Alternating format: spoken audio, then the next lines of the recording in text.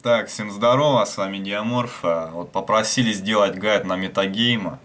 Будем, сейчас будем разоблачать этого, короче, чувачка, который втюхивает ноутбуки по 140 тысяч. Аудитория, естественно, лютует, потому что это отдельное видео, это отдельная реклама, да. И, естественно, какой-то лох, да, он, э, ну, просто может, конечно, повестись на ноутбук за 140 тысяч э, рублей, да. Ну, естественно, он сейчас уже подорожал из-за курса доллара, потому что это видео выпускалось 3, 3 октября, и, соответственно, можно сделать вывод, что сейчас этот ноутбук чуть-чуть там может, ну, 160, может, чуть больше. Итак, а, что нам предлагает этот, этот короче, метагейм, да? В новинках из области компьютерных технологий. С недавнего времени всеми нами любимая Dota полностью перешла на движок Source 2, и теперь при запуске игры перед Да вы шо, в натуре Source 2 перешла, да, и поэтому ноутбук, который хотя бы там Core i5, все, короче, он не тянет, и Source 2 в целых там отнял мне целых 5 FPS. И поэтому надо переходить на ноутбук, который стоит 140 тысяч рублей. Охеренная идея, классная просто, мне нравится. перед нами предстает Dota Reborn. Однако стоит отметить, что помимо немалого числа различных багов, для многих игроков стало проблемой то, что их А, Dota Reborn, да, какие баги, я не понимаю этого человека.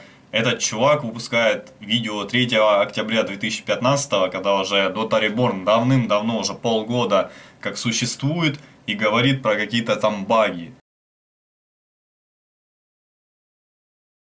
компьютер уже не так хорошо справляется с игрой, как это было раньше. Падение FPS, появление говорит, компьютер не так справляется. Компьютер, даже если... Он предполагает, что даже если, короче, у вас компьютер, все равно покупайте этот ноутбук за 140 тысяч, чтобы потом его нельзя там детали ничего сменить, и нифига, чтобы он грелся у вас до херища, чтобы вам даже вентиляторы, которые продаются специально для ноутбука, вот эти подставки, они все равно даже не, помо- не помогут, если у вас в хате жара 35 градусов, 40, ё различных лагов, все это делает игру не слишком приятной. И особенно это сказалось на тех, кто играл в доту с ноутбуков. Да, ноуты не занимают много места и удобны для транспортировки, но, увы, это не проходит бесследно, и за небольшой размер нередко приходится жертвовать производительностью. На данный момент не так уж много ноутбуков способны выдать в доте Reborn хороший FPS, а уж тем более в друг... Не так много ноутбуков. Это он что предполагает?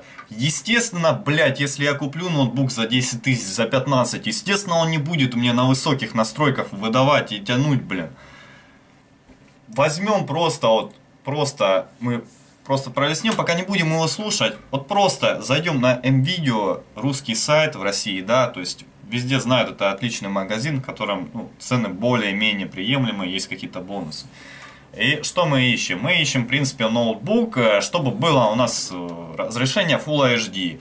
Какой там Core i5, Core, э, не i5. Если уже Full HD разрешение, то, соответственно, предполагается, что ноутбук уже, в принципе, будет что-то тянуть. Э, тем более доту. Доту, которая там якобы движок вообще занимает, ой, сжирает весь FPS. Просто ноутбук Acer возьмем, самый какой-то барыжный, 59 тысяч, ну 59 тысяч, да, в принципе деньги, но это не 140 тысяч. Что у него за начинка, мы смотрим, это модель VN, VN, короче, я не буду рекламить, э, VN7, да, и тип процессора Core i5. Э, 5200, э, 5200, 2, 2 ГГц, там, блядь, для доты, для высоких настроек это хватит с головой, вот именно этот процессор. Оперативная память хватит. А, графи... Если вы, естественно, не будете параллельно рендерить, то вам этого, бля, хватит с головой.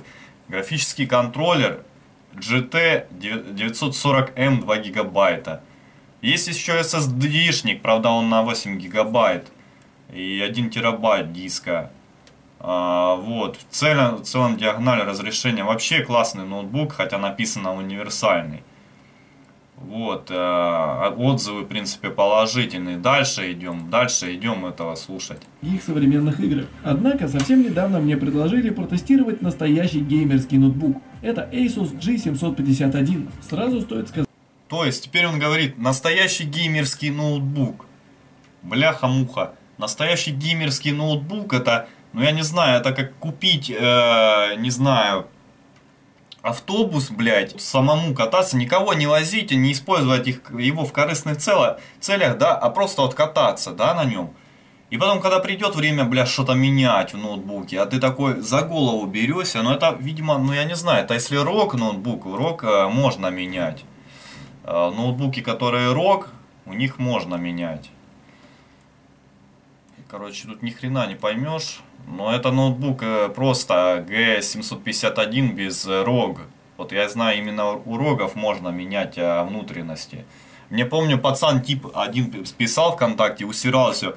Бля, ну а ноутбук это классно, ноутбук это супер. Конечно, ну да, это супер, бля, если у тебя бабло там хоть жопой не жуй, да. А если ты там обычный крестьянин, как говорится, нахер тебе такой ноутбук за 140 тысяч, который тем более сейчас уже подорожал и которому ничего нельзя сменить, блядь. Я не знаю, это какой лох поведется на это. Стильный и агрессивный дизайн, сочетание черного и красного цветов, плюс алюминиевая отделка. Все это подсказывает, что внутри скрывается серьезная сила. А геймерской направленности ноутбука также... Бля, блядь, говорит, серьезная сила скрывается.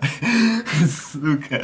Я могу могу корпус компа супер там просто отделать, да, за, купить там, я не знаю, за 200-300 долларов, а сам комп там начинка будет и 100 долларов, там не будет этой начинки.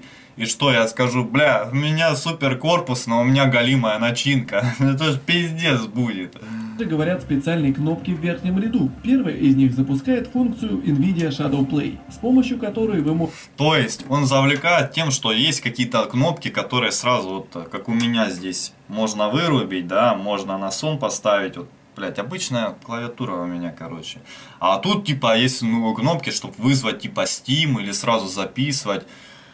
Это тупо бренд, который еще и распиаривает. записывать или стримить вашу игру. Также имеется специальная клавиша для запуска Steam и три настраиваемых кнопки под макросы, что немаловажно. Клавиша, блядь, для запуска Steam, это для особых лентяев, короче, которые не думают, когда этот ноутбук покупают у него там.